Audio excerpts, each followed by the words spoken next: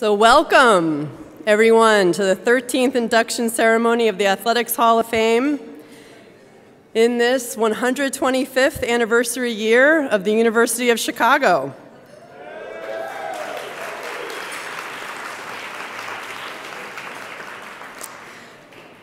I am Erin McDermott, the Director of Athletics, and it's a great day to be a Maroon, as we like to say. Just want to give you a little update on what's going on with the Maroons. Last year, Maroon individual and team performances resulted in the University of Chicago finishing 20th out of 450 schools in the NCAA Division III Learfield Sports Directors Cup standings, our second consecutive finish in the top 20.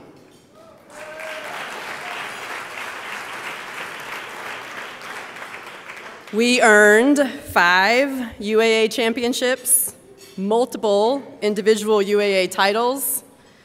Men's tennis finished fourth in the country.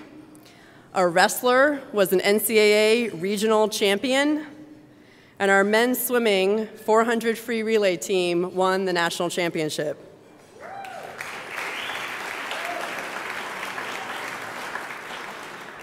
Our fall sport seasons have been successful, with three teams currently ranked in the top 25 nationally.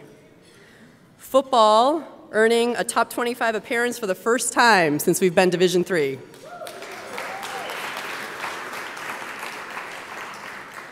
And Intercollegiate Tennis Association, small college, individual men's and women's regional champions. All good stuff. Since last year when we were here together, we've added an assistant athletic director for alumni relations and development, Robert Turpin. He's been very instrumental in tonight's event and with tomorrow's homecoming as well. Robert has been working hard on our new Friends of Maroon Athletics initiative that you will be hearing more about very soon to support our mission of providing a winning and enriching educational experience for our students. We have made good progress in completing a master plan for athletic facility development to work toward the objective of all students competing in first-rate facilities. We held the second Aims of Athletics event last week. The video will be posted to our website soon for you to watch. Imitating the Aims of Education address, the purpose of this event is for our students to hear a perspective on the aims of athletics from a different UChicago connected person annually.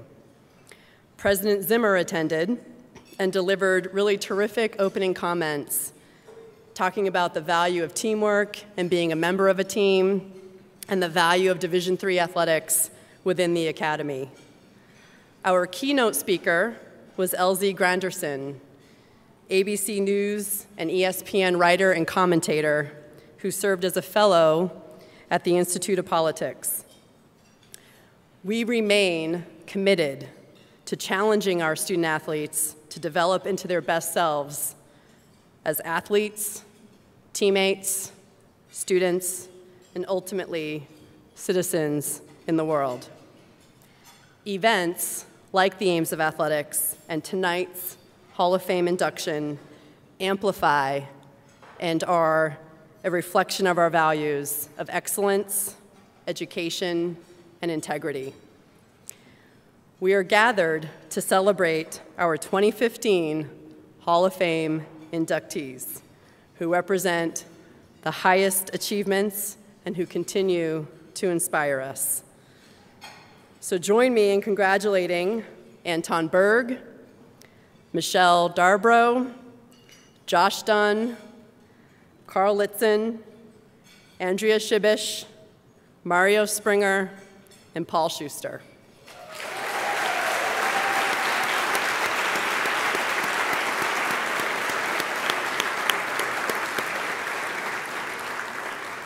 I also want to take the time to recognize some distinguished guests in attendance, and please stand when I say your name.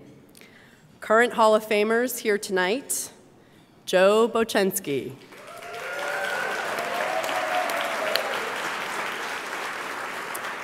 Anne Harvella.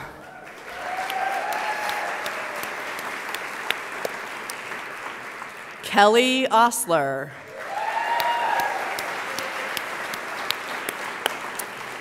And Peter Wang.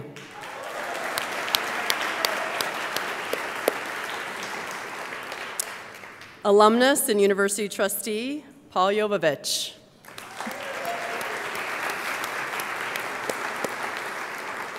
Graduate Order of the C President, Dennis Walden.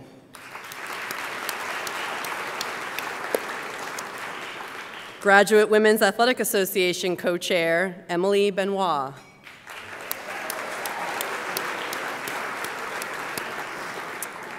Our NCAA Faculty Athletic Representative, John Craig.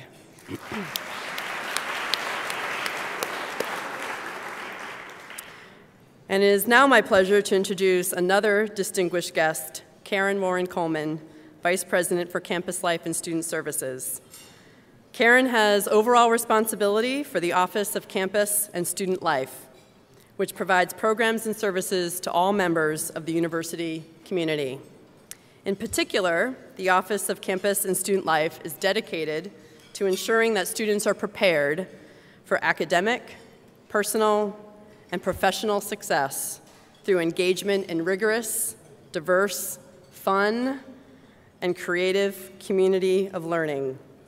The Office of Campus and Student Life comprises more than 350 staff members and 20 program and services, including athletics. Please welcome Vice President Karen Warren Coleman.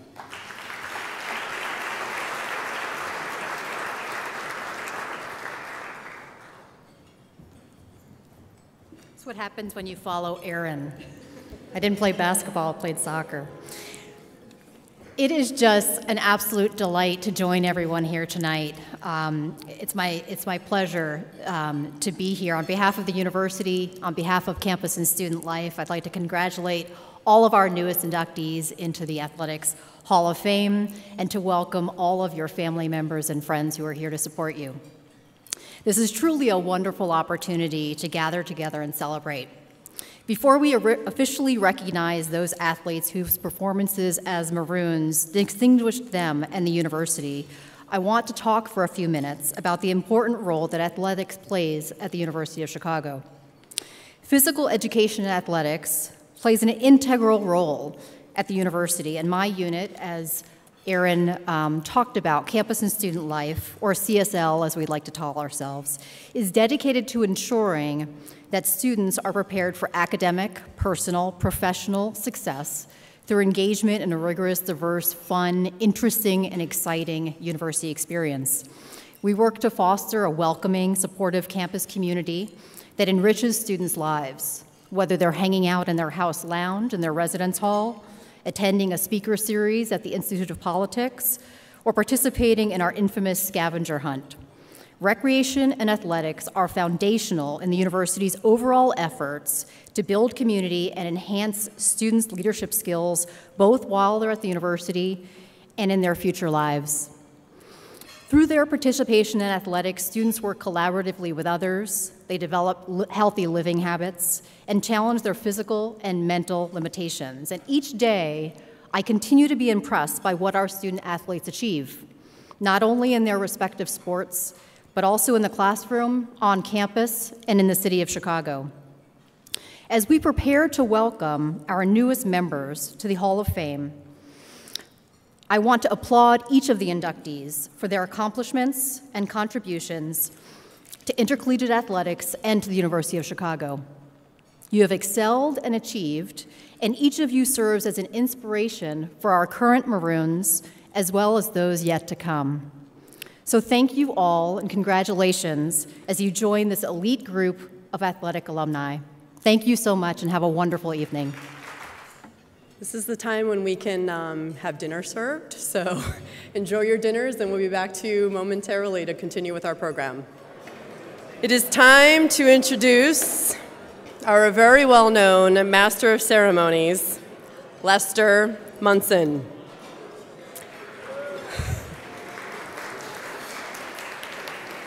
Lester has served as our Master of Ceremonies for all of our Hall of Fame inductions. As many of you know, he earned a JD from the University of Chicago Law School in 1967. Before that, he was a Princeton undergrad.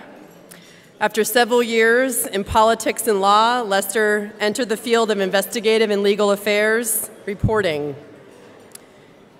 He served on the staff of Sports Illustrated and is now a writer, producer, and legal analyst for ESPN and ESPN.com. He is a frequent commentator on NPR, PBS, and other broadcast outlets. Lester's recent assignments include now, I'm originally from Massachusetts, so I don't really even like mentioning this one, but something about Tom Brady and some footballs. They're, make, they're just making a killing this season, so it's all good. NCAA, the NCAA O'Bannon case, if anyone's been following that, that's very much going to possibly be a seminal moment for college athletics moving forward in Division One. Another lawsuit, similarly, um, the Kessler lawsuit that is about paying athletes at the Division One level.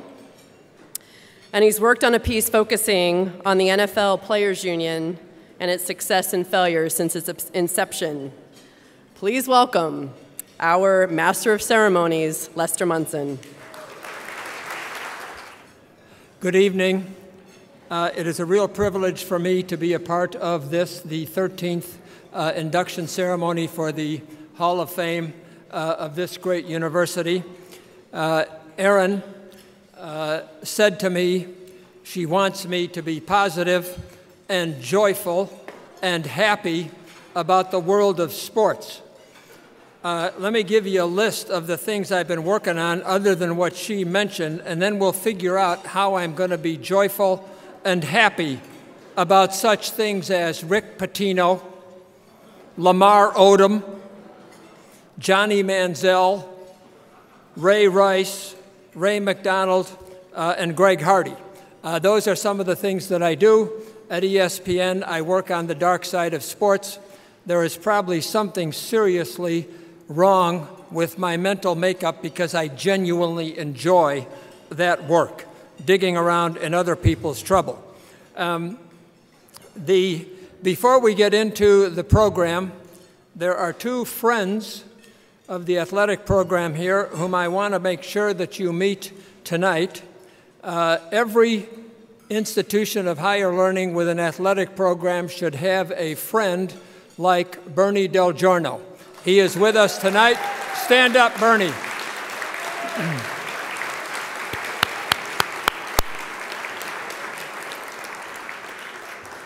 He is the prototype for su support and generosity of a program involving scholar athletes. We also have with us tonight the man who, more than anybody else, is the founder of this Hall of Fame. It was his vision, his encyclopedic knowledge of the athletic program, and his dedication and implementation that formed the foundation for what we are doing here tonight. Without him, there would be no recognition, no record of the remarkable history of University of Chicago athletics. He is the godfather of this Hall of Fame. He is John Davy. Stand up, John.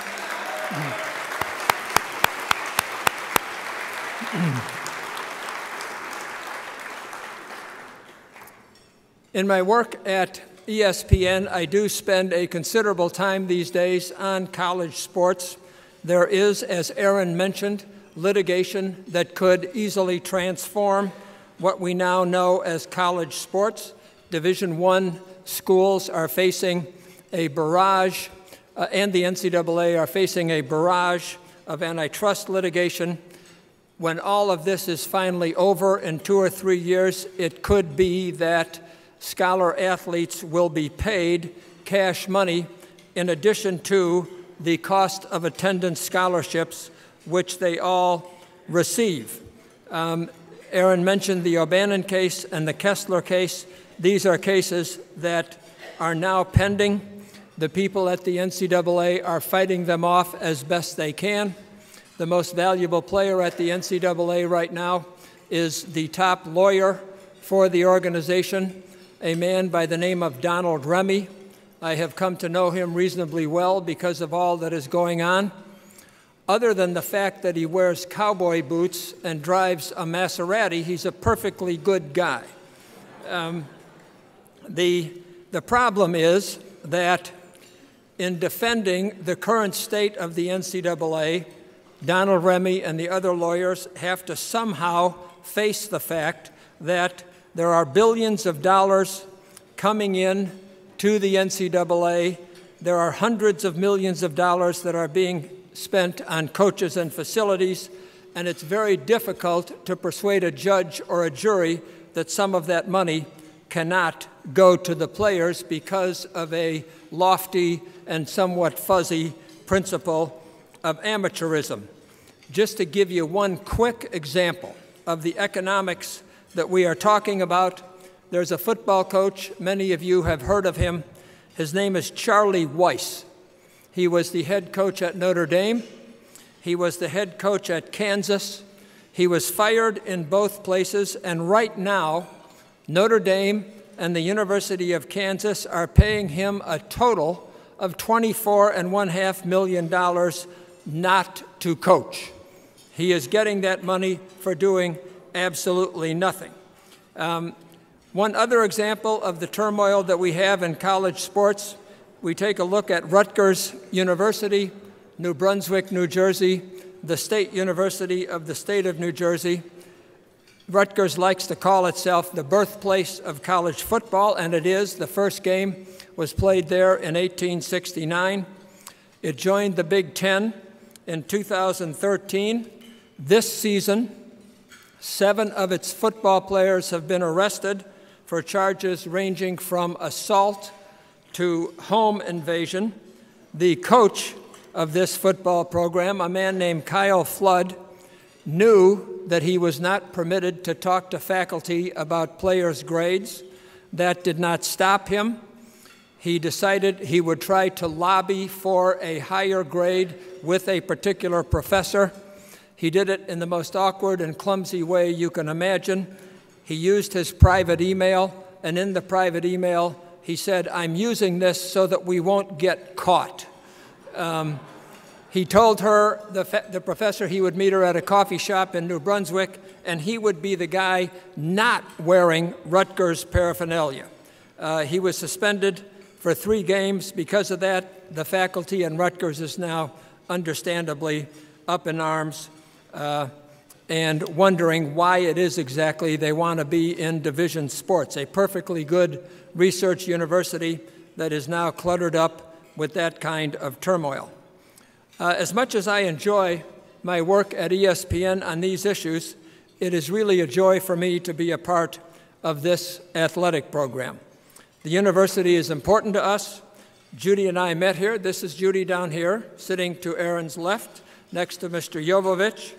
Um, the, uh, our older son uh, was a member of the class of 1989 and played football here. Uh, here at the University of Chicago, we are involved in a different kind of sports program from the ones that I have been mentioning. It is a program that many of the Division I schools may wish to consider if they find themselves paying players. Already, the presidents of Notre Dame and Stanford have said in official public statements that they would consider reducing the importance of football and the other revenue sports if they were forced by court cases to pay their players anything above and beyond uh, the cost of attendance. Imagine that Notre Dame and Stanford. Scholars who study college athletics agree that ours is the model program. William Bowen, the great economist, has used the tools of social science in his books to conclude that our program and our conference uh, are, are the models for athletics in American higher education. Our program is comprehensive, it is competitive. You heard the successes uh, that Erin described. It features all that is good in college sports and none of the bad. Our scholar athletes are both scholars and athletes. When they graduate from this university, They are educated men and women. They have achieved what the great columnist David Brooks, a devoted alumnus of this university, calls epistemological modesty. Remember that one, epistemological modesty. You're at an athletics gathering and we're using the word epistemological, only at the University of Chicago. Our athletes understand the limits and the validity of knowledge as they graduate from this university, and they are ready to undertake tasks that will make the world a better place. Our athletes participate in the single largest department in the university and the largest enterprise on the campus. We have 500 varsity athletes in 19 different sports, more than 300 men, nearly 200 women. Our varsity teams play 330 games against other schools, and that is not all. We have 7,500 people participating in intramural sports, many of them in multiple sports. The intramural program includes 750 teams and 2,188 contests in any given year. The Ratner Center and the Crown Field House are two of the busiest buildings on the campus. Nearly 600,000 people come and go in a typical year. This is the model program. Tonight, our 13th class, the class of 2015, we have seven inductees. We cover a total of 79 years of the history of this athletic program from the class of 1927 to the class of 2006. This group of seven achieved All American honors no less than seven times. The group includes three who were named All Region, three who were named All Conference in the UAA, and it includes one national champion and one Big Ten Medal of Honor winner. Included in this class of inductees are a world class high jumper, a woman who starred in both softball and volleyball, the greatest quarterback in the modern era of football here, two soccer players, and two wrestlers. Two wrestlers. I don't want to go any further without a word about our wrestling program. This is the first time a single coach has had two athletes admitted to the Hall of Fame on a single evening.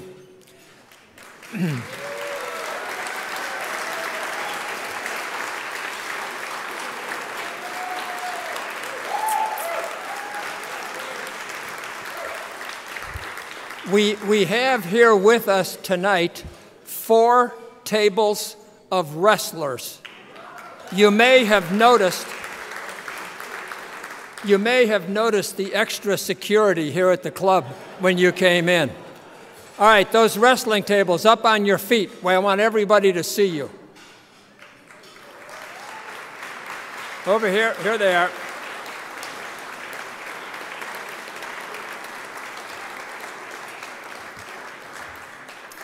Now you are forewarned, you know where these guys are. The two wrestlers whom we will induct tonight, join four others who have achieved this honor. The four others already inducted into our Hall of Fame are Peter Wong, Gene Shin, Joe Bochenski, and Neil Radak. Six wrestlers in the Hall of Fame is an enormous tribute to the coach who has presided over this program since 1978. He is the great Leo Kocher. Leo, up on your feet.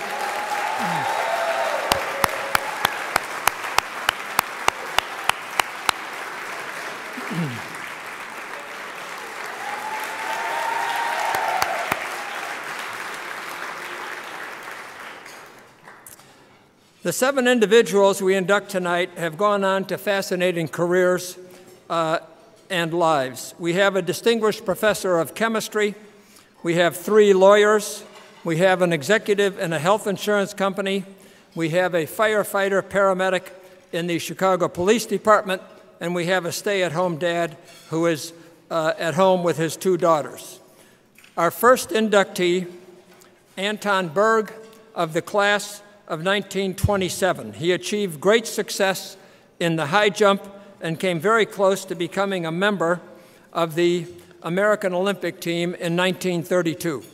As you watch the video, you will notice that he preceded the technique now known as the Fosbury flop in the high jump, yet he still scaled incredible heights. And you will notice that he performed in Soldier Field, among other places, in this video. Anton Burg was one of the top high jumpers in the country as a member of the U Chicago men's track and field team. He earned three All American honors in the event and capped his collegiate career by winning the national title in 1927. He was also the national runner up in 1926 and took sixth place in 1925. Burg was awarded the 1927 Big Ten Conference Medal of Honor for his athletic performance. After graduation, he was the U.S. Open high jump champion in 1930 and placed fourth in the 1932 Olympic trials. Anton Burg went on to be, achieve distinction in the field of inorganic chemistry. He published 174 peer reviewed articles while serving as a professor for 41 years at the University of Southern California. Accepting for Anton Burg is Professor Curt Wittig, one of his colleagues at USC.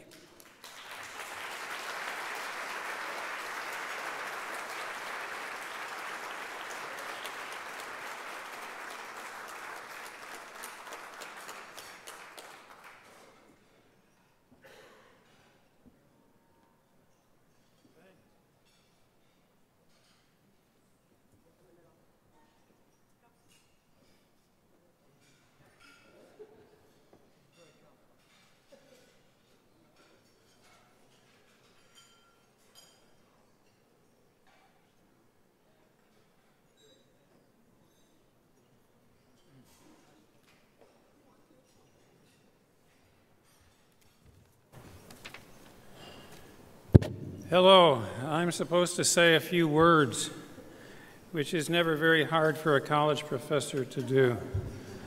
Uh, you heard a bit about Anton Burg. He uh, actually, after 1927, he stayed on at Chicago and became a faculty type guy after getting his PhD. And he was an enormously kind person. He would help people to extents that are really not done anymore nowadays by giving junior colleagues access to uh, routes of uh, chemical research and enabling them to go off by themselves.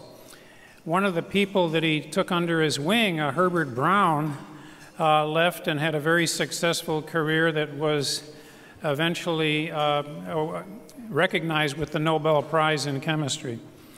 Now, Anton came to USC in 1939 and he started the Department of Chemistry. He was an assistant professor. And because he was an assistant professor, you know, he was also department chair. And uh, it's kind of hard to lose a vote if that's the case. So he had to hire some people, and he did. So they instantly made him associate professor and then two years later full professor, and he contributed greatly during the Second World War. Uh, Anton did a lot of things. Now, nobody was like Anton. Anton was an act unto himself. He was, it's a shame, you know, you, you see them jumping over things. That's nice, but that's not Anton. Anton was a really lovable person. And I came to USC in 1970. Anton retired in 1973. And you would think, well, that's not much overlap. Nonsense. Anton stayed active in the department for a long, long time until uh, just the last year or two before he passed away at the age of 99. He went, he, he came to a dinner like this once, and we were having in his honor for his 90th birthday, and he looked around the room and he said, I was going to wait until 100, but I didn't think all of you would be around at that time. Now, you know, Anton uh, was a top notch chemist, and he stayed very active in sports in his own way. Uh, he led a very clean life. I don't know about you guys. You, I don't know if you lead a clean life, clean lives or not. You look to me like you have a, a good time. You know, Anton wasn't like that. He never married. Well, I don't know what that means, but he never married and he never drank alcohol. He was a milk guy. And he never smoked, of course. Uh, and he never owned a car. He rode a bicycle everywhere. And he was a bit of a, a little bit on the eccentric side, I guess you'd say, for having all those traits. He played tennis at USC, but I want to tell you a little story about how he combined his acumen with uh, chemistry with his ability as a high jumper. Okay? Which takes a bit of doing. Now, Anton was working in his laboratory, and all of a sudden, somebody came in from the fire department and announced to him, Professor Burg, this is a manifestly unsafe situation that you're in. And Anton said, No, that's not possible. And the fire person said, You only have one exit. That door over there is the only exit, and that's no good. And Anton said, No, there are two exits. And the fire guy said, You must be nuts. There's only one exit, it's right over there. At which point, Anton ran to the window, opened it, and jumped out the window. now, luckily for Anton, this was only the first story. So he came running back into the building and he told the guy, See, I told you. Oh, anyway, uh, I've I enjoyed greatly my interactions with Anton Burg, and he is a credit to the University of Chicago, and I'm very happy to be here to accept this honor on his behalf.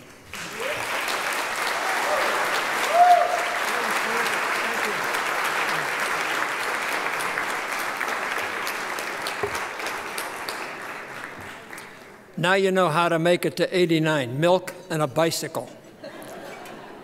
Our next inductee is one of the greatest hitters in the history of softball at this university.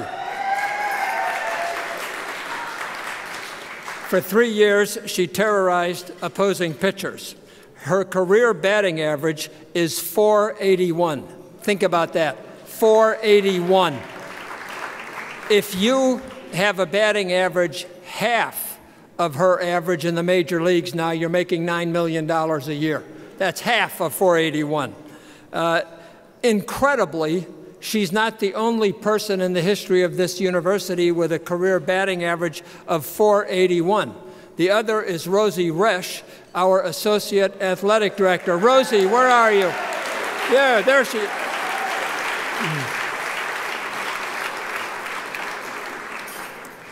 She was also a power hitter. Uh, I think she took great pride in the home runs and the doubles that she hit. And as you will see uh, in this video, she also starred in other sports, including volleyball, where with her left handed serve, she scored 72 aces in the course of her career. Michelle Darbro provided potent offense for the Maroon softball team during her collegiate career. Her 481 career batting average is tied for first in school history, while her 15 home runs rank third, and her 65 career RBIs are good for seventh all time. Darbro's best statistical season occurred in 1998 when she racked up 58 hits, 10 home runs, 34 RBI, 13 doubles, and a 527 batting average. She received first team All Region honors twice in her career, and the Maroons qualified for the NCAA postseason in 2000. From 1998 through the year 2000, U Chicago posted a team record of 69, 33, and 3 for a 671 winning percentage. I've had the pleasure of calling Michelle Darbro or Spinner, Darbs, D, Winner, Terrence Trent D'Arbro. You're starting to get the picture here. uh, my friend since 1996.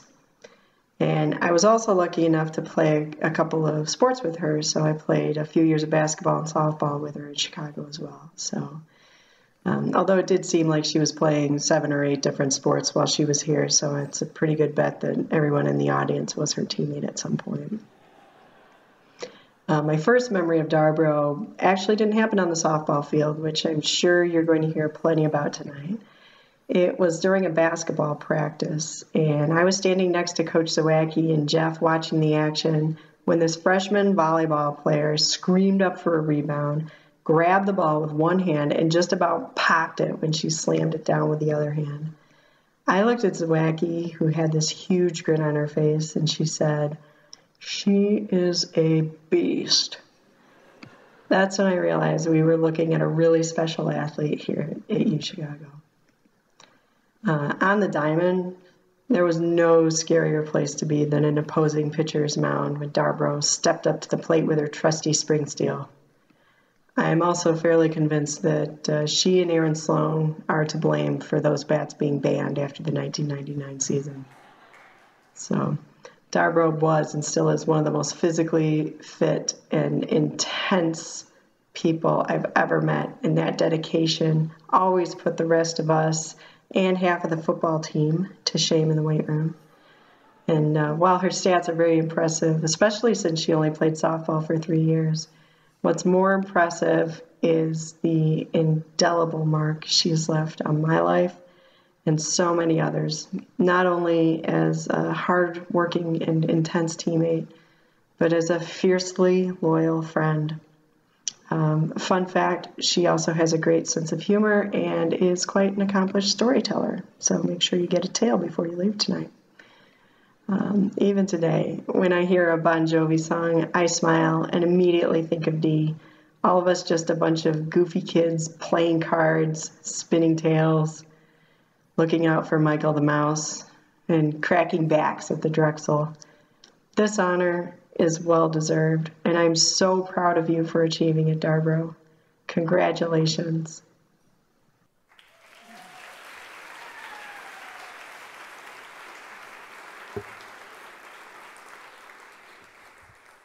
Michelle now serves the city of Chicago as a firefighter and paramedic. Ladies and gentlemen, Michelle Darbro.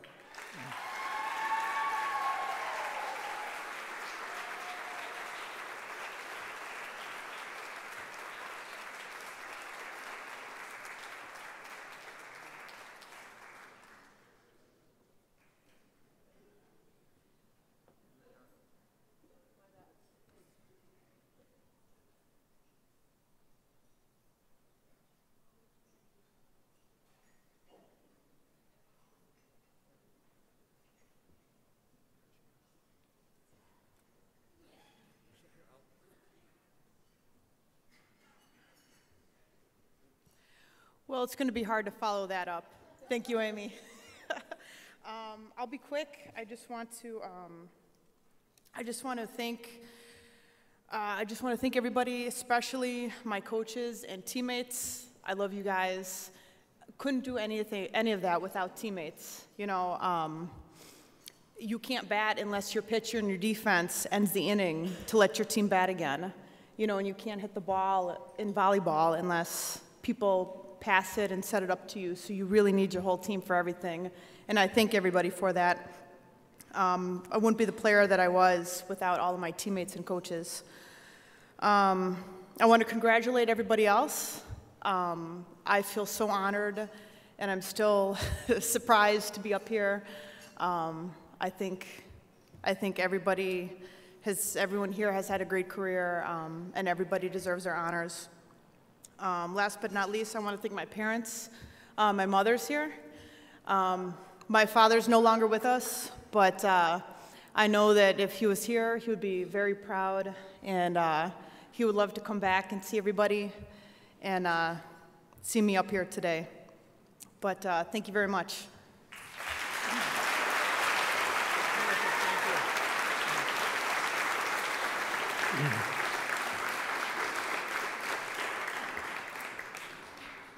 Our next inductee is a quarterback who produced passing records that will never be broken. He threw for nearly 7,000 yards and 48 touchdowns during his career playing for the Maroons. These were not the little dink passes that we see so often now in today's brand of football. He averaged more than 12 yards per completion, an absolutely stunning achievement. He was so accurate that he could put the ball in a spot that would allow his receivers to avoid a major hit after the catch. He was a coach's dream. He had a total grasp of the game and was able to survey the entire field before he threw. He is the kind of quarterback that Bears fans have been hoping for since Sid Luckman retired in the 1940s. I've been going to Bear games for 50 years. I've never seen a quarterback like this. Um, as you watch this report on video from his offensive coordinator while he was here, you will see and hear the coach's awe and amazement at what Josh was able to do on the football field. Josh Dunn compiled one of the most impressive statistical careers in U Chicago football history. At quarterback, Dunn owns seven career and season passing records, including 6,922 career yards, 558 career completions, and 48 career touchdowns.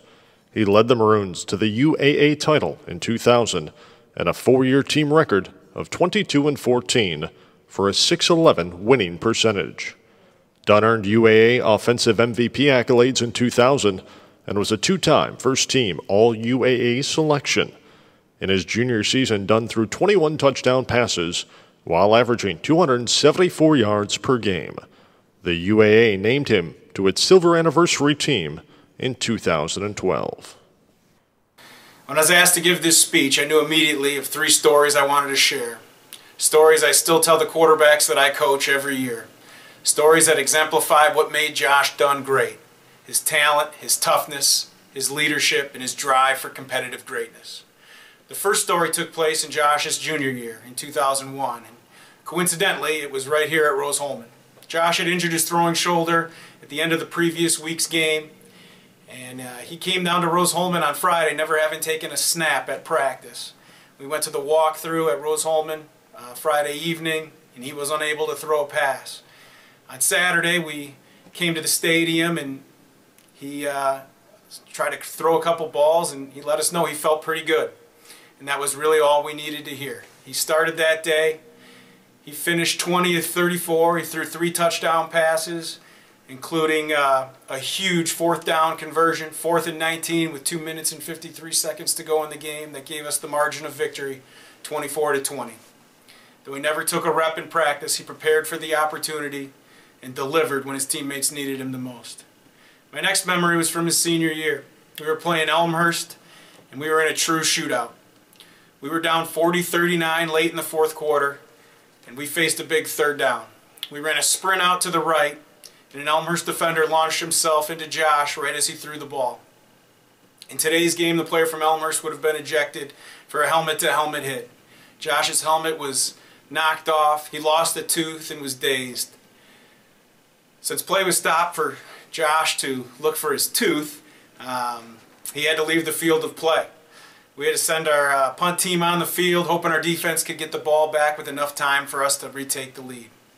Again, now this was a, a different day and age, and before the ball was snapped for the punt, Josh was able to let us know that he was feeling all right and was, was good to go back out for the game.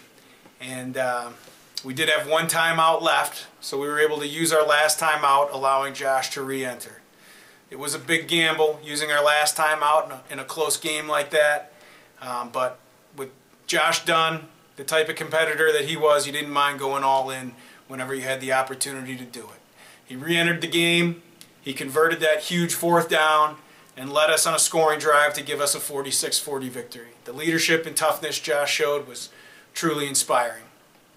My final and favorite memory of Josh was from his final game as a Maroon against UAA rival Case Western Reserve. Early in the game, Josh got his uh, fingers stuck and, and, smashed between some helmets on uh, one of the tips of his fingers on his left hand. that the tip of his finger was just kind of hanging off the bone. Uh, it, was, it was pretty gross. Um, they were able to tape up his finger a little bit, best they could, and uh, it was one of the craziest things. He was able to play, but we could only run running plays to our left. If, if we did a running play to the right, as Josh would hand the ball um, off to the running back, his hand would go with the ball and the running back, and a little bit more of the tip of his finger would get ripped away from the bone, um, causing extreme pain and uh, uh obvious discomfort. Um, fortunately, though, Josh was still able to throw the ball, and he threw it everywhere on the field, uh, and he really needed to. He had played as close to a perfect game as I've ever remember seeing. He spread the ball evenly between his three main targets, Jim Raptis, Joe Polineski, and Mike Healy. And in his very last opportunity to represent the University of Chicago as a player, he overcame incredible pain, pain played with incredible intensity, focus, and delivered a 49-39 victory for the Maroons. He was able to end his career in the most fitting way possible in a, victory, in a victory that exemplified his toughness, his competitive spirit, and his great talent.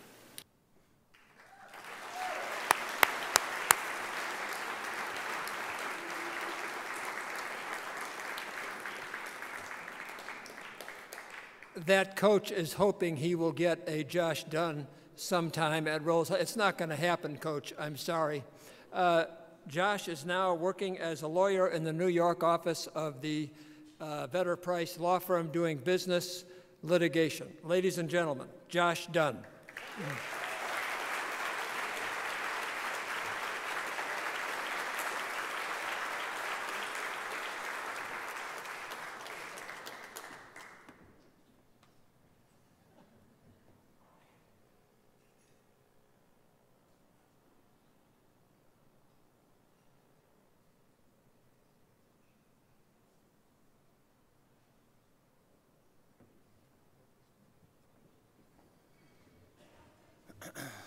Wow. Um, thank you to Lester and Coach Sokol for those uh, incredible introductions. I, I'm, I'm, not that tough. I'm, I'm really not. I, there was maybe some embellishment, maybe a little too much gruesome detail uh, there.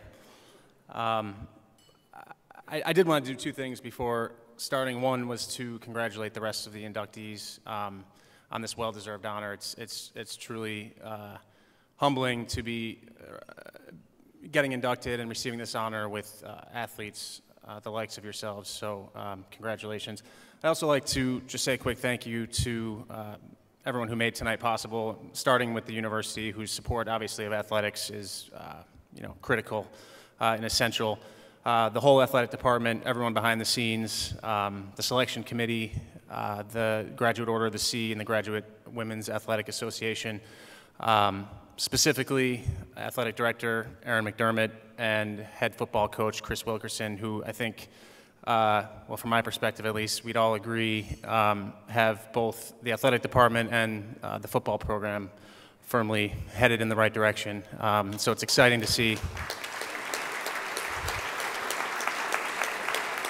And, and it's an exciting time to be uh, a Maroon or a Maroon fan or a Maroon alum, um, and I'm just thrilled to be here and to be accepting this award, not just on behalf of myself, but all my coaches, teammates, uh, trainers, uh, obviously family, most of which are right here, um, and friends. So it's it's really just it's really special. Um, I think about my time at the University of Chicago, and the first thing that comes to mind is that well, anyone who knew me when I was 18 and making that decision would tell you that it wasn't my first choice.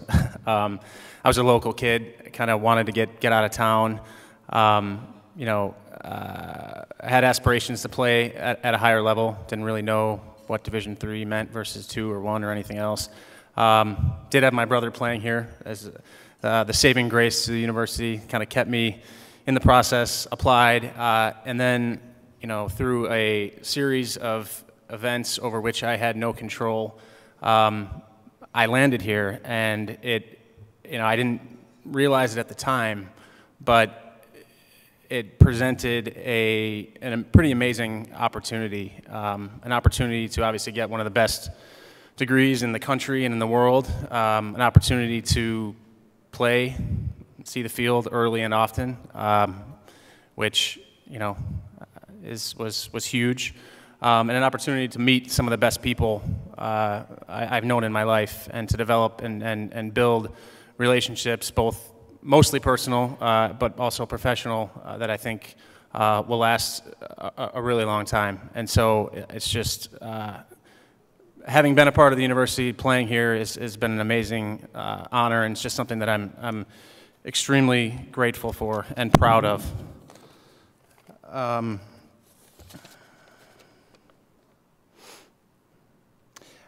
a couple things. I have a lot of good memories from my time here. A couple things I'll never forget. Coach Sokol already covered, um, but the one he didn't was back in 2000 when we won the UAA and the Founders Cup at home in a nine to six victory on a uh, goal line stand. Uh, the WashU had had four chances from about the six-inch yard line, um, and and our defense stuffed them. And you know, obviously, being on the offensive side of the ball, it was tough to watch that from from the sideline. But uh, just incredible, incredible uh, memory. Um, the second of which was uh, one of the things Coach Sokol talked about, which was beating Rose-Hulman on a fourth and 19, um, you know, to win the game. That was actually right after 9/11. I remember having uh, little American flags on our helmets. Most people around the country weren't even playing, uh, but we were. Um, uh, pretty incredible. And then the last, Coach Sokol also mentioned, which was, uh, you know, going out on top in my last game, um, you know, uh, as a Maroon, winning on the road at Case Western. It was it was pretty pretty incredible. Um, generally, I'd say my experience was just amazing. It was a great ride um, and something, as I said, I'm, I'm, extremely grateful for. And quickly, while I have a little bit more time, I, I, have, I have, a few uh, thank yous I need to get out there. Um, obviously, to all my coaches uh, throughout all four years, including Coach Maloney and Coach Sokol, neither of which could be here. Coach Maloney, uh, to his credit, wouldn't take no for an answer in recruiting, um, and obviously gave me the opportunity to see the field uh, early and often, and, and, and Coach Sokol, obviously, on the ground as a quarterback's coach. Uh, great, unbelievable X's and O's guys. Learned so much from him, but also just um, great, great guy and great human being. Um, all of my teammates, obviously, over four years, but as anyone who's a fan of football knows, it all starts up front. And so I have to thank all of my offensive linemen over the course of my entire career who didn't have an easy job. Um, some of you, obviously, in this room got to watch me play, but not all, and, and I can assure you I was not the fleetest of foot. Um, so they didn't have a, an easy job, but they did it, and they did it well, uh, and uh, I appreciate it. Um, wide receivers, pass catchers, a few of which are over on this side of the room. The core group of which was, as Jeff mentioned, uh, Joe Palaneski, Jim Raptis, uh, Brian Guprod and um, and Mike Healy. These guys just day in and day out, year in and year out, uh, just made me look good. I mean, Joe and, and Jim in particular started. They were a year behind me, but pretty much as soon as I was starting at quarterback, they were starting at wide receiver, and we had three strong years together, and, and they were just uh, pretty amazing. Um, one guy quickly, Jim Tragos, uh, my immediate predecessor at quarterback, um, who I took over for late in my freshman year when he was a junior, and he, he taught me more about leadership and sportsmanship and being a good teammate from the sidelines his senior year uh, than I think he could ever realize and imagine. So I just I had to I had to say thank you to him uh, specifically.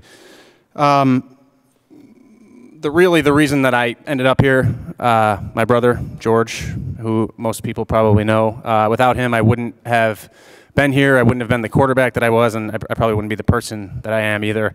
Obviously, played football together from when we were eight years old on through high school, and uh, had the privilege of playing with him uh, three years here. And it's funny, really quick story, and some of you guys might remember this, but my very first day on campus in, in 1999, all the freshmen had to get up and say who we are, where we went to high school, what our position was, and I got up. I don't know if it was first, but I got up and I said, uh, I'm Josh Dunn, uh, George's brother and the room erupted in laughter. You know how teammates can be.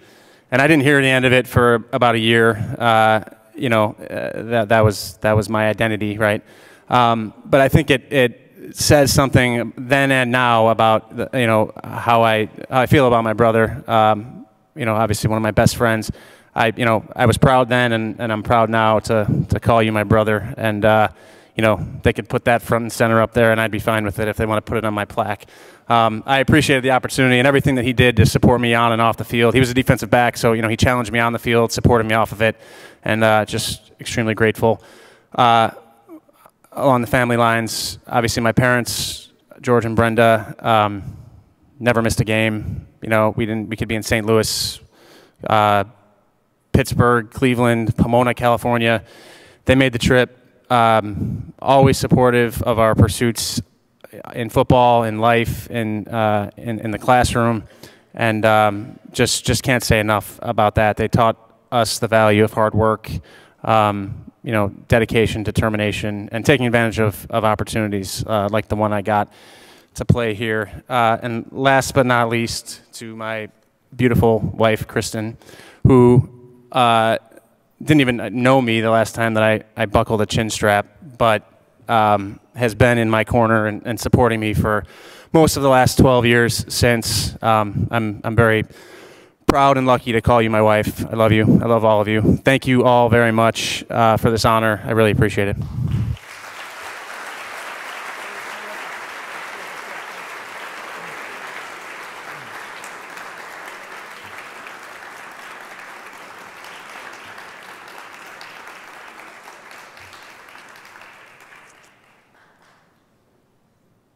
Our next inductee is a wrestler who achieved All American honors not once but twice.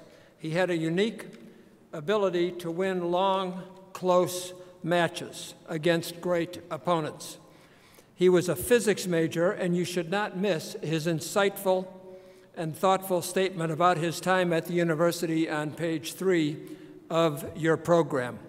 Uh, now, as you watch this video, be sure to note the shots of the young coach Leo Kocher in the background. Carl Litzen was a standout wrestler for the Maroons during the early to mid 1980s. He was a two time All American at his 167 pound weight class, placing fifth at the NCAA Championships in 1985 and sixth in 1984. Litzen is one of six U Chicago wrestlers to achieve multiple All American honors. He was also a three time Midwest Conference 167 pound champion from 1983 to 1985, and Litzen helped the Maroons win their lone Midwest Conference title in 1984.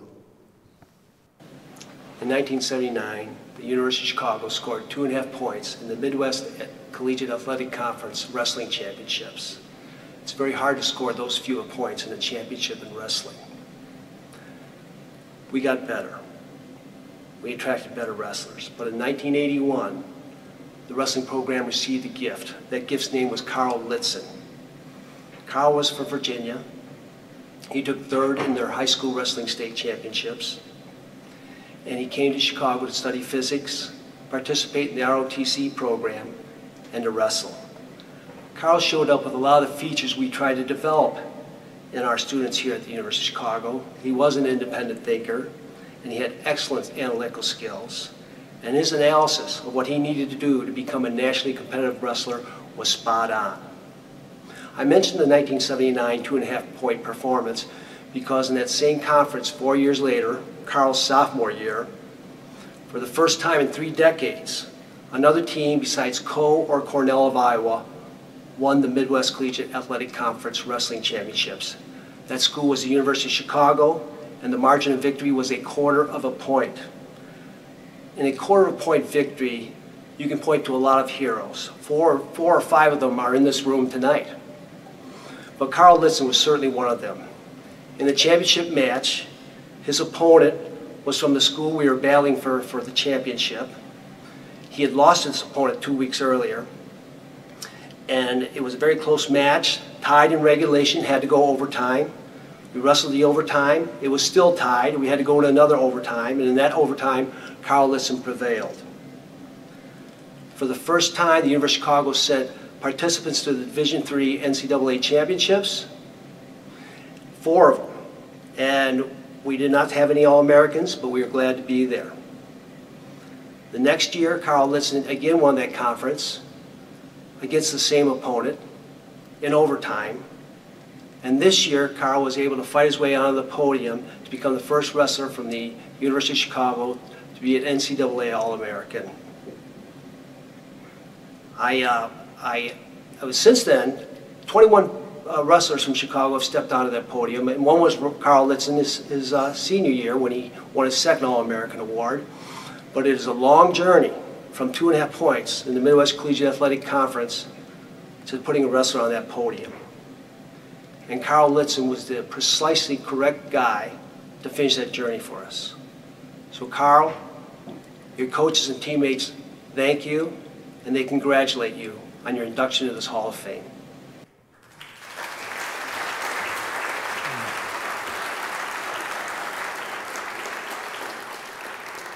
Ladies and gentlemen, Carl Litzen.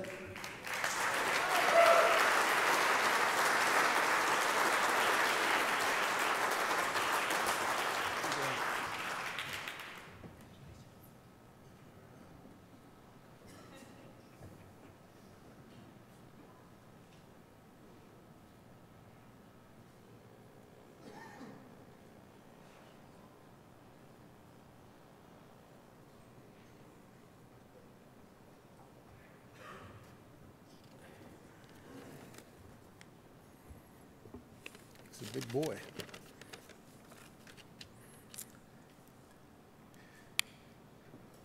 When I placed at the Division III Wrestling Championships, Coach Leo Kocher turned a cartwheel across the mat. For the next five years, my father started most of his conversations with, Hi, Ernie Litzen. Have I told you about my son Carl, the All American? It's, uh, it's what you do. You celebrate your children, what you've made and grown and trained. And while my own children are surpassingly lovely and accomplished, I can't really see me breaking up the slideshow just now. However, I can talk about some of the people who have come here before. I met Jay Berwanger here at school through SIU, and I saw what Bruce Montella did when he was here. And I wrestled with Gene Shin and Joe Bochenski, and later with Peter Wang when I came back in 1989 to work on the Shedd Aquarium. These are all earlier inductees, so I have some notion of who has gone before here. What they achieved here required a rare level of effort and work and privation, and it is an honor to be counted in their company. So I'll say thanks. Thanks to my teammates for the work. Thanks to Gene Shin for beating up on me for, on the mat for three straight years. And thanks to Leo especially, for showing me the way to get better. Thanks to you all.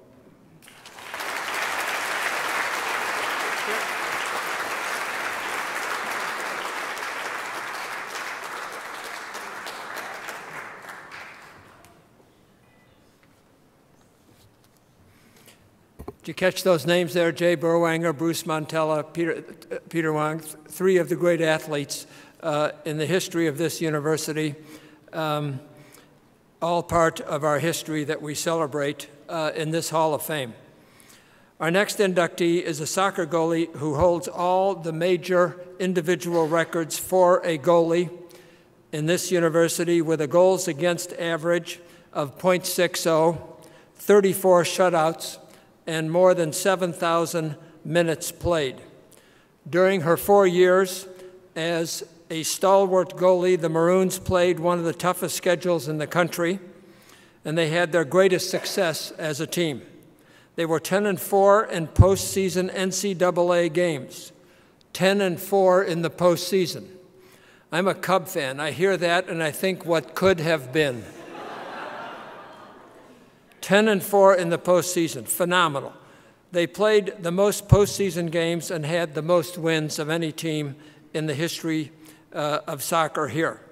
At one point, they were ranked number one in the country, the only time in the history of our soccer program that it has reached that level of recognition. And they once won 10 games in a row.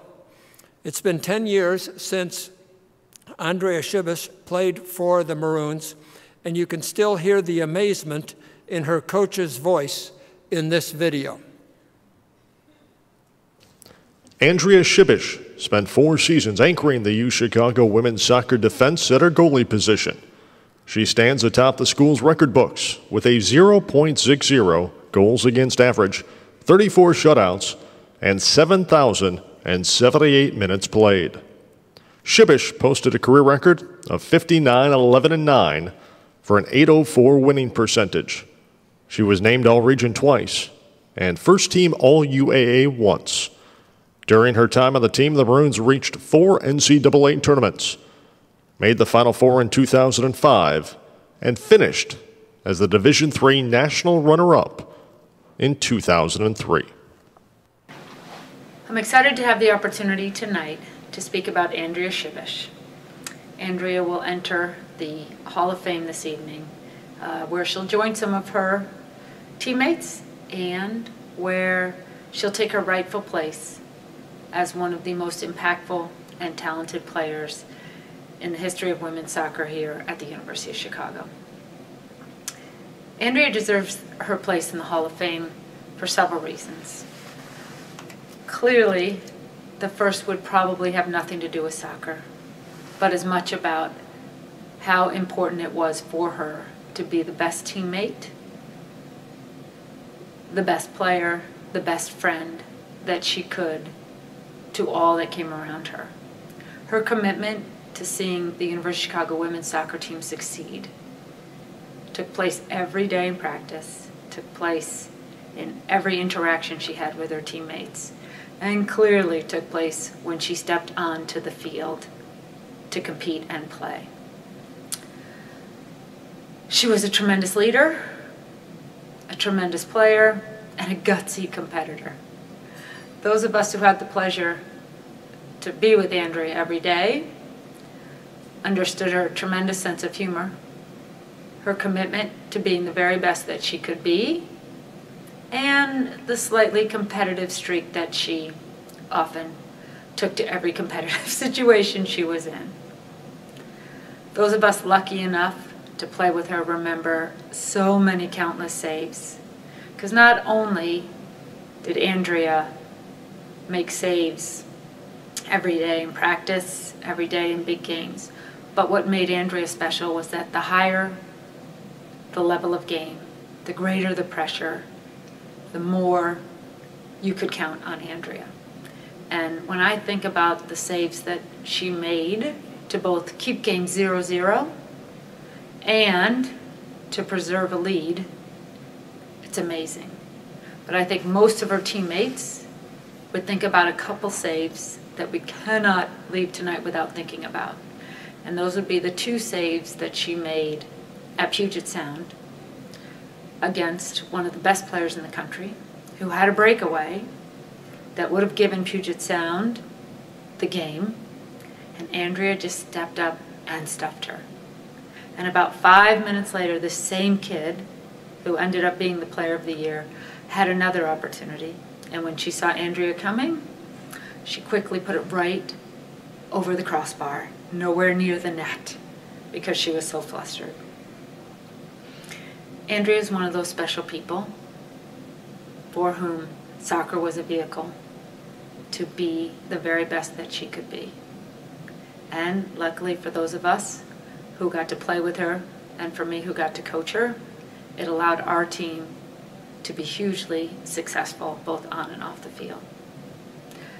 Nothing makes me happier than having the chance to speak on her behalf tonight and to welcome her into the Hall of Fame. Congratulations, Andrea.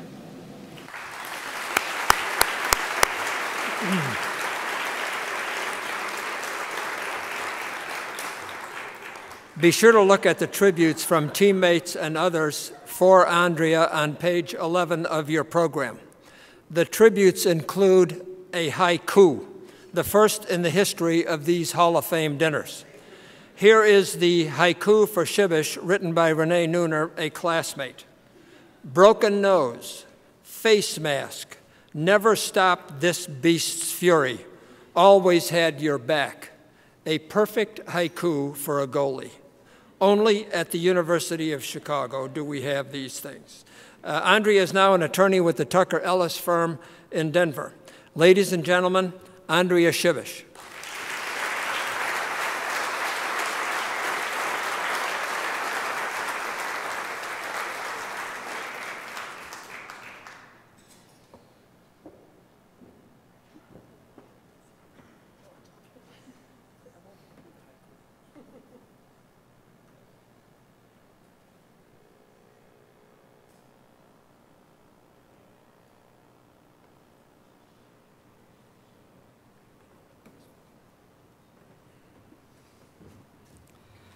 So I'll, I'll try to keep this short for everyone. I'm sure you guys want to get home to your friends and family.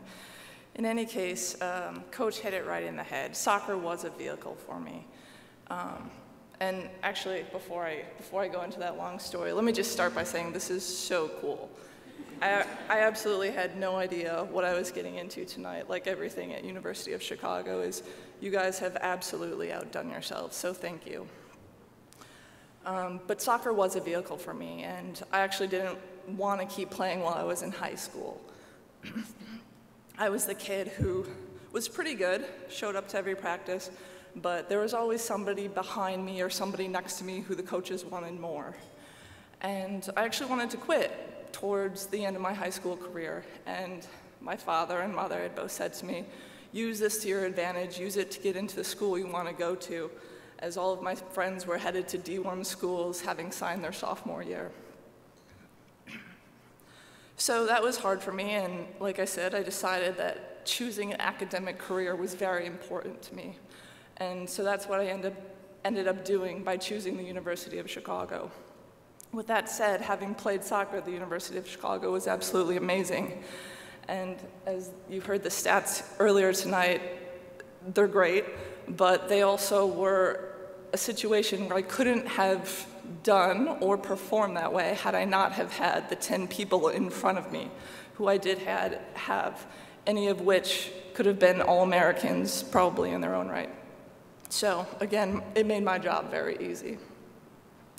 Having said that, Chicago propelled me forward using that vehicle metaphor into law school some women here tonight were very influential in having gotten me into law school. During law school, I interned for uh, the head of university hospitals in Cleveland, Ohio, another UChicago alumni, who set me up with my first job. And today, I actually live in Denver, where every single one of my friends has an affiliation with the university, whether or not I went to university with them or whether or not they went to law school at UChicago, or whether or not they went to business school at University of Chicago. So what I have to say is basically that the network is alive and strong, and we have a lot to be proud of tonight. So I appreciate that. Thank you.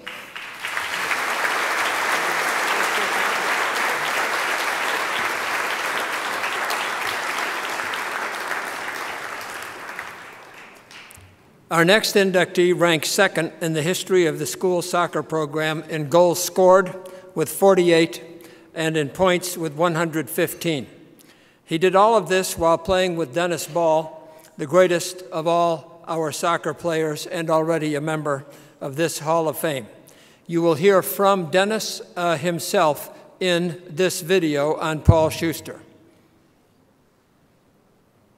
Paul Schuster was one of the most prolific scorers in Maroon men's soccer history.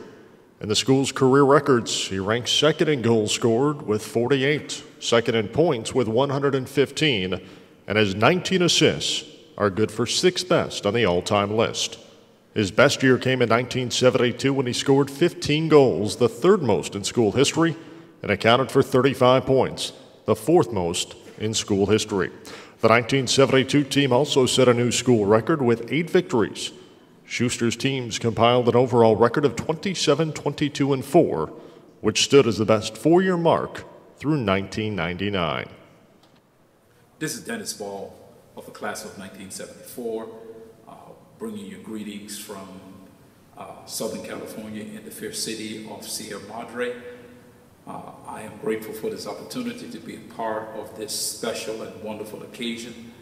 Uh, first of all, though, I'd like to uh, commend uh, very highly uh, the officers employees and personnel of the University of Chicago Athletic Department for the wonderful job you're doing. And certainly I want to recognize those who are uh, responsible for organizing this special event. Uh, secondly, I do want to uh, highly, highly commend and congratulate all of the new inductees into the University of Chicago Athletic Hall of Fame. I welcome you into this prestigious uh, organization. Uh, I, I, I, commend you for your achievements uh, in this area. And finally, I do want to commend, recognize uh, my teammate uh, on the soccer team uh, of the University of Chicago, 1971-1974, an outstanding athlete, uh, a great player, uh, Paul Schuster.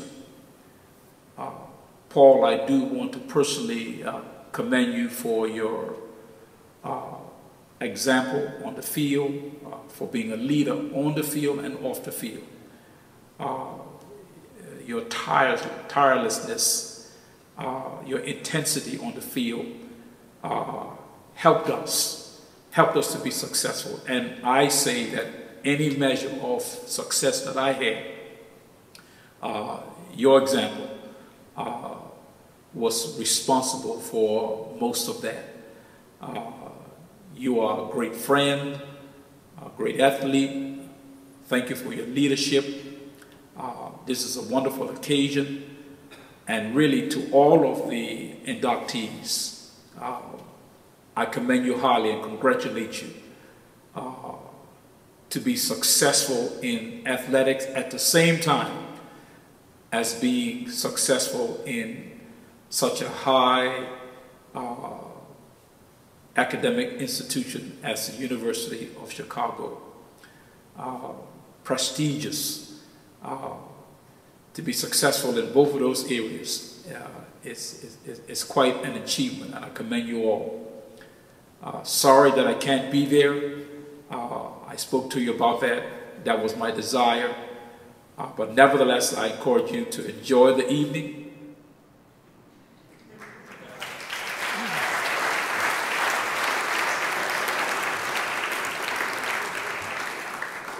Paul is now an executive with a mutual life and health insurance company.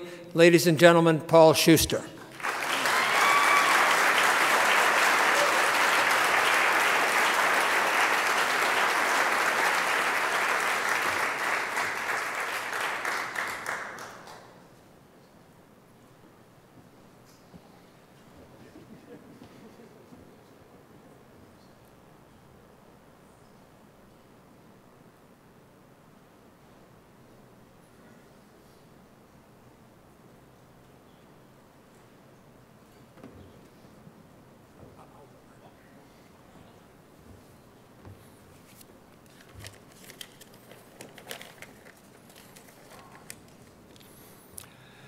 Dennis Ball is without question the greatest men's soccer player in the University of Chicago's history. It was 44 years ago today that he scored five goals in our 7 to 1 victory over Northwestern University, that Big Ten school up the lake.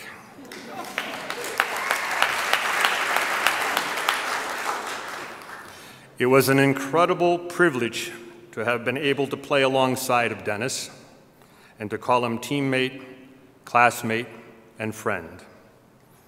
It is a great, great honor to be joining him in this university's Athletic Hall of Fame.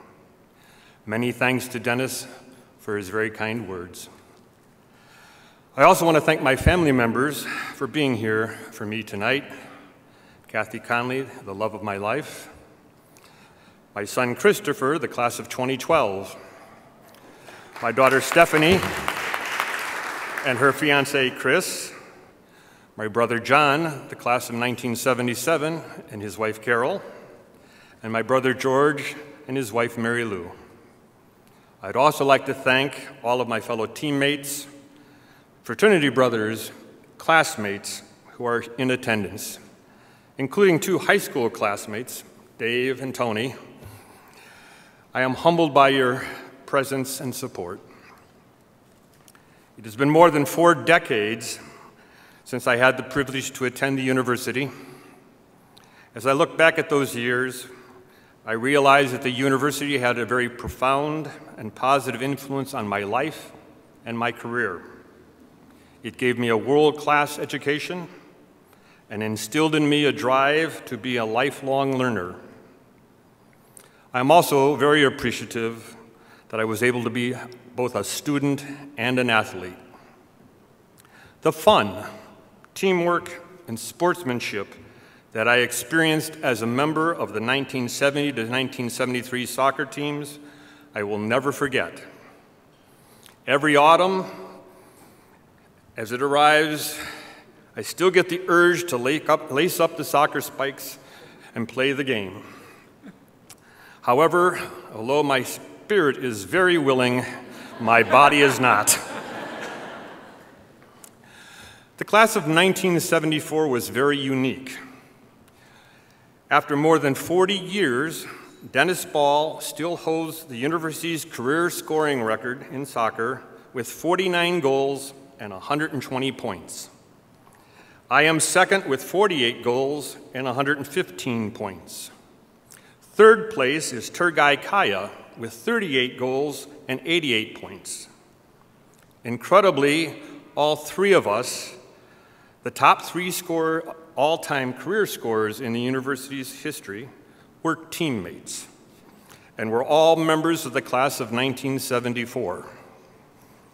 Yet amazingly, in the 52 games played from 1970 through 1973, for a variety of reasons, there was not a single game in which all three of us played the entire 90 minutes together.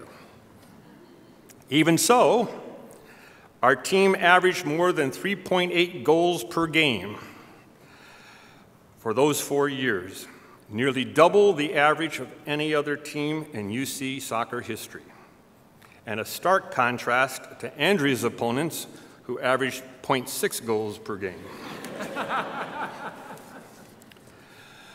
Soccer is truly a team sport, and teamwork is critical.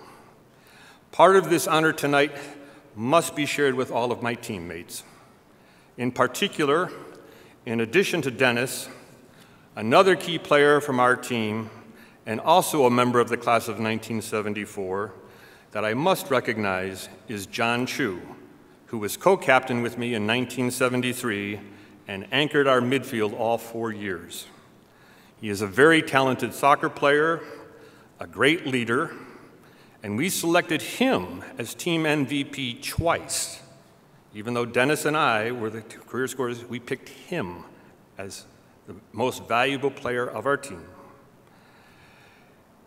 Unbelievably, talking to him at our 40 year class reunion last year, he is still playing soccer competitively out east in an over 60s league and I am unbelievably envious of him. Someday I hope to be at his induction in this, into this hall. If we had one or two more defensive players like John, we may have been undefeated all four years. It is true that I love to play soccer, and it is said that I played the game with great passion and intense determination. It is a fact that I hyperextended my right knee in a championship soccer game in high school, but I got up, played the remainder of the game on that injured knee, and kicked in the tying goal, by the way. This incident resulted in my first major knee operation, which happened before I came to Chicago. Subsequently, I've had three more major knee operations, including ACL reconstructions on both knees and most recently, a complete knee replacement. In addition, while playing soccer in high school, college, and on a club team after graduation, I've had my fingers broken, my toes broken, had a concussion, was kicked in the face three different times, and had so many sprained ankles that I can't even count them all. In fact, in our final season in 1973, I sprained my ankle in the first game in an encounter with the opposing goalie. I won't describe the details.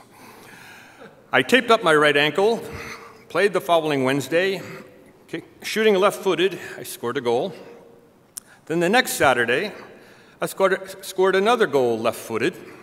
But as I did, the opposing goalie landed on my left foot, rolled up my leg, and snapped my left ankle. Although I wanted to keep on playing, I was told that having both ankles sprained at the same time required that I had to take a break. Apparently, playing with crutches was against the rules. a couple of years ago, a friend asked me, Was it worth it, given all my aches and pains? My response was, It's hard to say. I really enjoyed playing the game. I loved my teammates. And soccer taught me some invaluable life lessons about teamwork, sacrifice, and dedication. But now, few know, and even few care, that I ever played soccer four years ago. But tonight, I can say that this honor definitely makes it all worthwhile. Thank you so very much.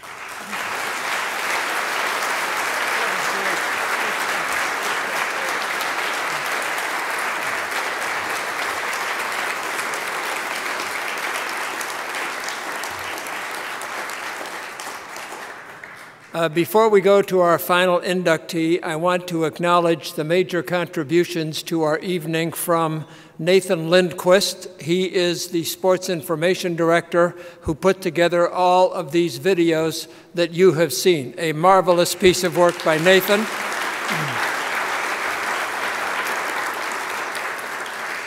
And that golden voice that you hear introducing uh, each of the speakers belongs to John Fitzgerald, our baseball coach.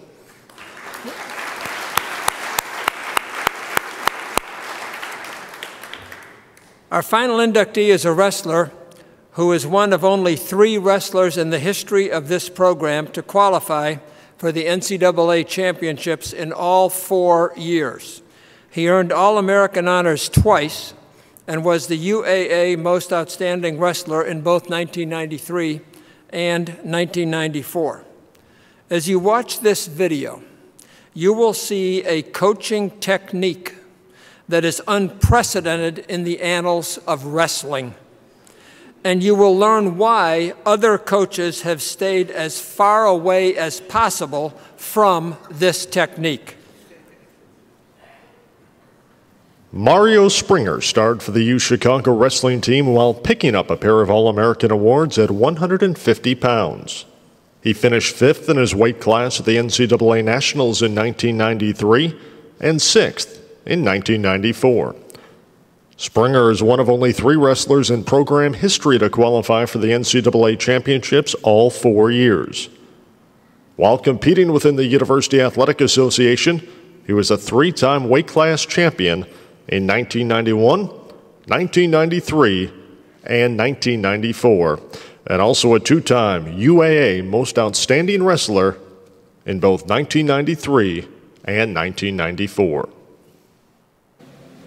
In the history of University of Chicago wrestling, only three athletes have qualified for the NCAA tournament four years. Mario Springer is one of those. Mario had a good career in high school, but it didn't predict the national success he would have in Chicago.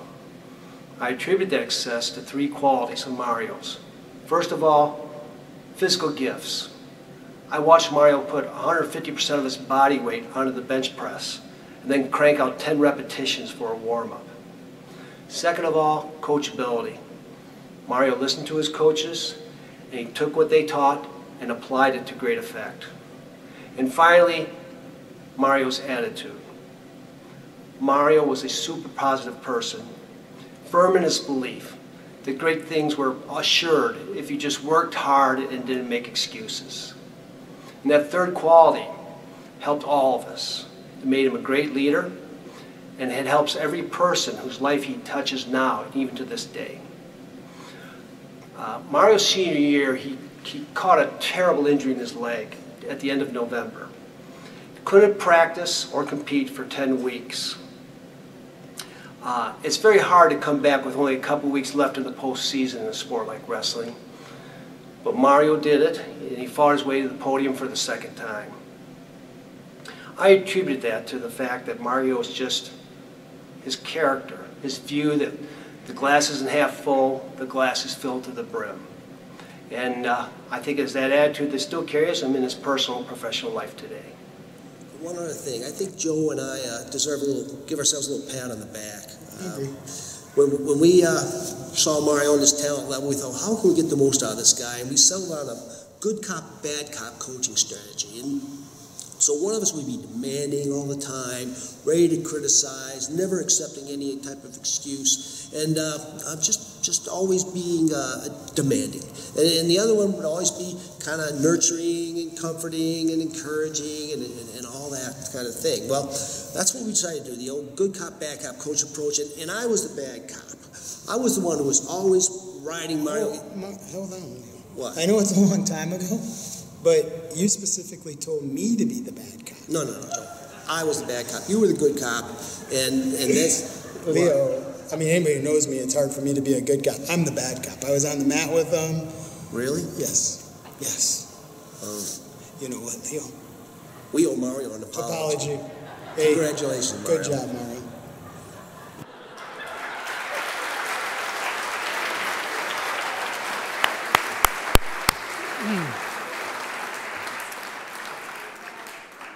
Mario is now a vice president for compliance and an assistant general counsel uh, at ADP. Ladies and gentlemen, Mario Springer.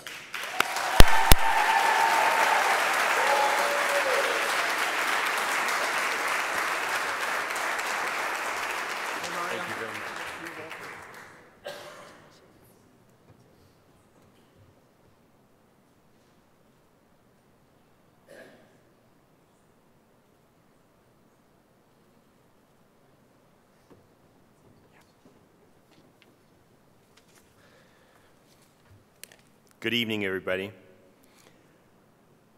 To be candid, I feel a great deal of gratitude um, to the university, um, faculty, and staff, and, and students for keeping the, the, alums proud of this special place.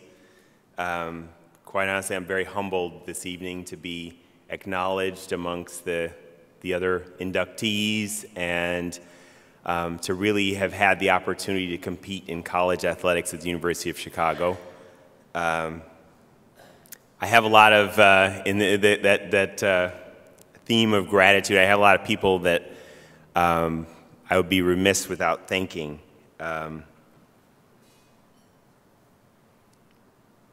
I think most importantly, I, I just want to acknowledge the fact that the, the friendships that I obtained in my years at the U of C um, are, are, lasting and um, play, play a very profound role in my life today. Um, I'd like to thank the, the Hall of Fame committee for selecting me, um, Leo especially, um, obviously for speaking on my behalf, for being a teacher, a mentor,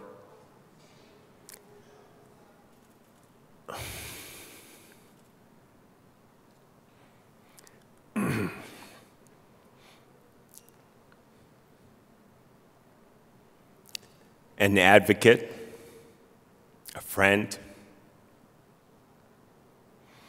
Friend in my book is, is probably the highest compliment you can get or that I could give.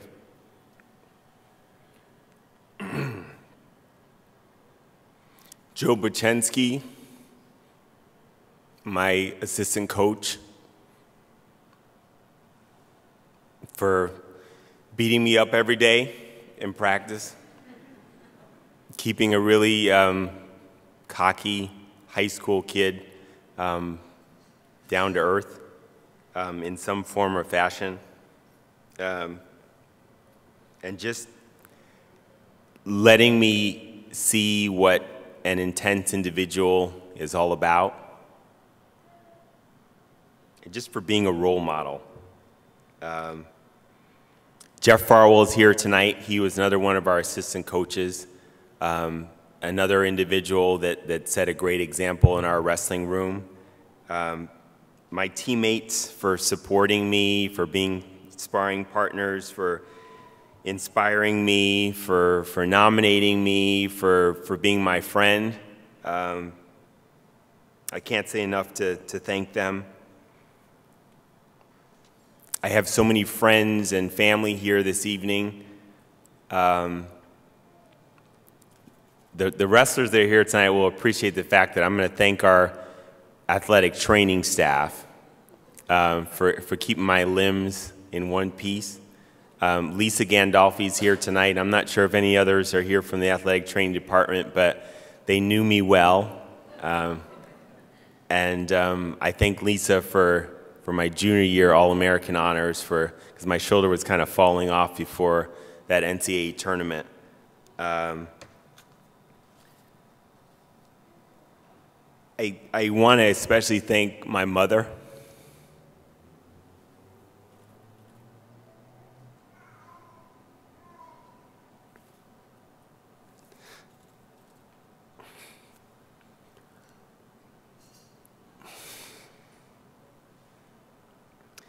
for always believing in me,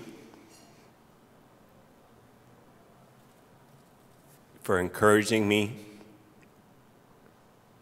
showing her love and support, attending my competitions, for giving me goodie baskets, and, and uh, for a starving young wrestler, those are huge. Um, my brother's here tonight. Thanks, Jose, for being an inspiration to me. Thanks to all my family and friends that are here tonight for supporting me through life's ups and downs. I'm sorry to rain on the parade. Um, I just get very emotional when I think of how important my days at, at Chicago were to me. And I'll always cherish these times. Thanks very much.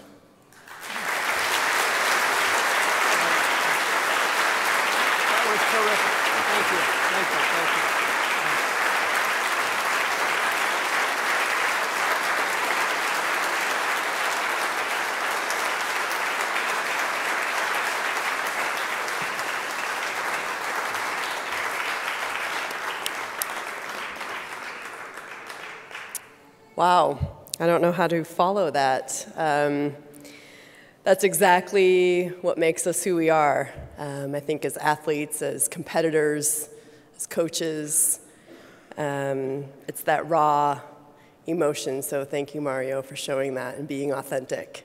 Really amazing to see. And an amazing um, group of people to honor tonight. It makes me all the more inspired and humbled and just so feeling proud to be the leader of this group and for the University of Chicago Athletics.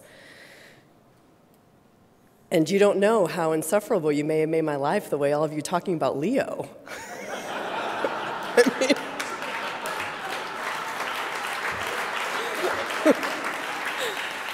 oh my God it's going to take a while for us to get through that. Um, but you know, I will say, I mean, we talk about the need for people to be life learners and to evolve and to always know that we all have something we can always learn. And Leo is certainly a model of that. He's the only one in our department who has a standing desk. And uh, I couldn't, I couldn't believe it. I'm watching, I don't know, I think it was the Sunday morning show on CBS or something, and they were showing that there's an elementary school that has now experimented with standing desks for their students, and they're showing that they're highly much more productive. So there's actually a movement now for um, elementary schools to incorporate standing desks. So he's just a man before his time. I don't, but I don't want to add to his head getting any bigger. So. Um, I'm going to move us along to our concluding uh, comments, who are given is given by Dennis Walden, the chair of our selection committee. And uh, Dennis, as many of you know, is a graduate of the college. He was the winner of the Stagg Medal in 1969, and he is the current president of the Graduate Order of the C. So I would like to welcome Dennis Walden up to the podium.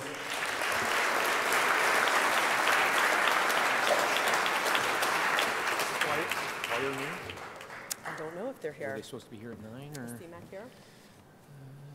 Yeah? Okay. Okay, good. Thanks, Erin.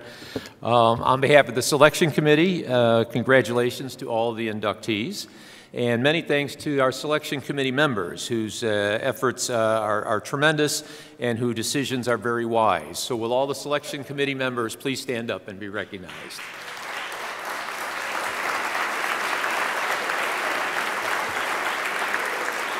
Thank you. Thanks to everyone for attending. Uh, our students, coaches, and staff are well represented thanks to the generosity of uh, terrific alums.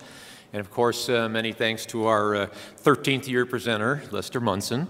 Um, we also have other folks to thank. Uh, Nathan Lindquist always uh, already received his acknowledgement for the videos, but also Robert Turpin and Joe Weingardner of the Alumni Relations and Development have put a lot of effort into putting together this great event. And uh, so let's hear it for them.